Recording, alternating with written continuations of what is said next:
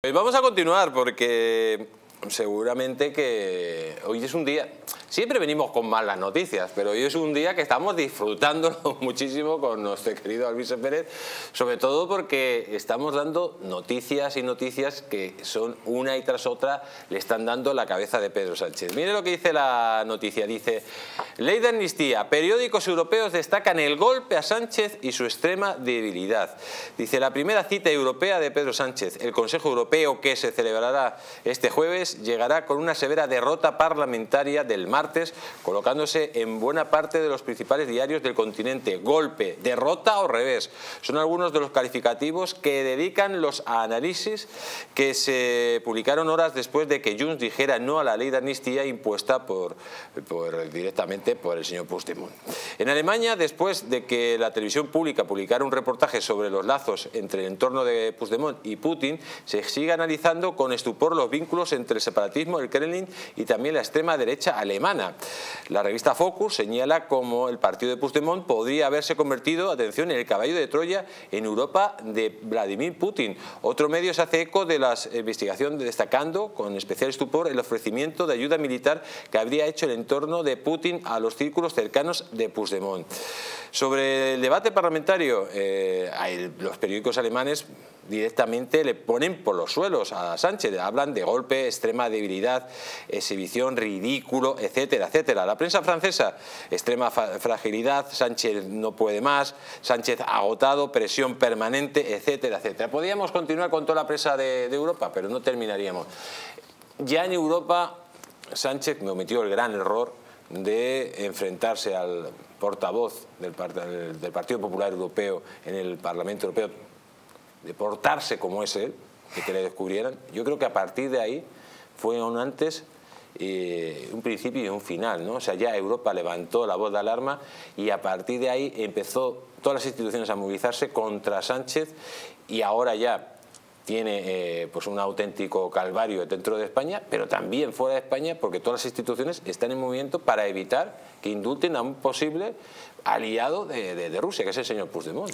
Y obviamente es, cierto, y estoy 100% de acuerdo con usted, don Jesús, que la geopolítica aquí influye y el hecho de posicionarse de una determinada manera acerca del Mar Cáucaso y de una determinada manera acerca de Rusia, nunca antes hemos importado tanto gas de Rusia como ahora, después de la guerra, lo que indica que una cosa es el discurso público y político de don Pedro Sánchez y otra cosa es la política real, la realpolitik de cuántos hectómetros cúbicos compramos en gas a Rusia en plena guerra, mientras decimos que hay que asfixiarles financiera y económicamente, una guerra, por cierto, en la que nos ha metido la OTAN, que esto parece que no es muy popular decirlo, pero hay que recordarlo. Es decir, aquí una guerra, yo maldeciría eh, a todos los políticos españoles que nos llevaran a este conflicto si muere un solo soldado español en una guerra que no es nuestra. Es una guerra forzada, provocada y financiada por Estados Unidos, que ahora quiere acabar precisamente con ella, haciendo, no sé si se enteró el otro día, que las bolsas eh, en el último año en China han caído más de un 54%.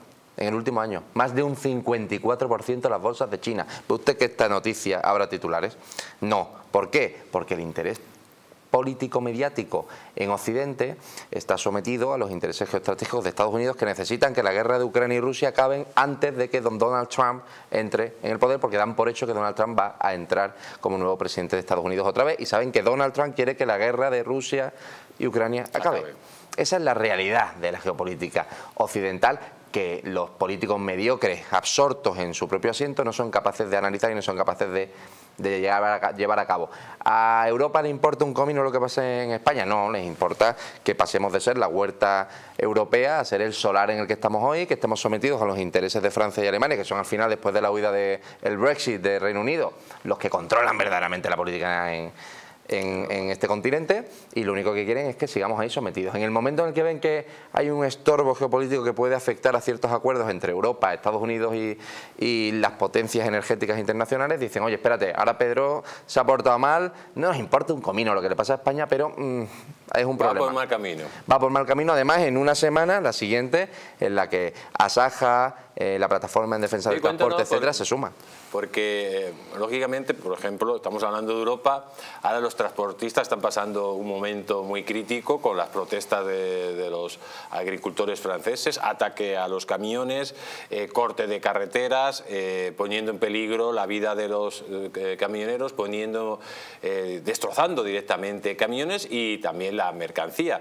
Y vemos que el gobierno de España está totalmente paralizado. Porque el gobierno de España no ha hecho lo que ha hecho Francia. Francia ha mentido a sus ciudadanos diciendo que el problema de la catombe agrícola en Francia es de los españoles. Así que cogen los agricultores franceses y se van a por los españoles a la frontera a tirarnos la fruta y la verdura.